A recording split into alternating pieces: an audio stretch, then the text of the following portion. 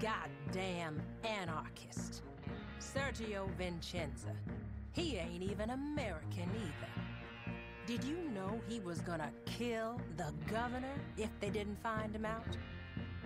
And who can guess how many minds he poisoned talking that collectivist nonsense? Stopping this loudmouth is what the law was made for. Ain't gonna be easy, though. I heard he's bedded in deep with a bunch of these zealots. Oh, and he's a former military sharpshooter, too. My brother, liberty will be shackled at all cost. That is how government works. I used to use this rifle to fight for them, but now it is turned the other way. Whatever happens, we must be strong, amigo.